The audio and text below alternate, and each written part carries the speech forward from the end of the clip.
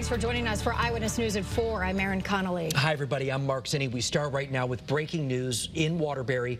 That's where a school fight ended with some arrests. Now, this all happened during the school day at Crosby High School. Pinpoint News Tracker shows us where the school is located at 300 Pierpont Road. Channel 3's Aya Galal is live at the school with more on what we are learning. Aya.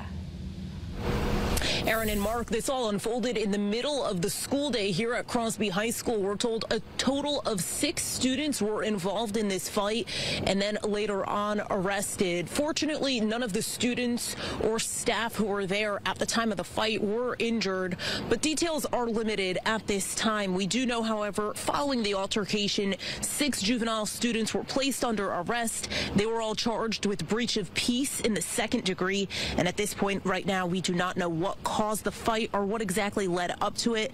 Waterbury police, however, tell us that the school day and operations continued as normal. But again, we are learning during the school day, six students were involved in a fight and then later on arrested. As soon as we have any new information, we'll bring it to you on air and on the Channel 3 app. Reporting live in Waterbury, Aya Channel 3 Eyewitness News.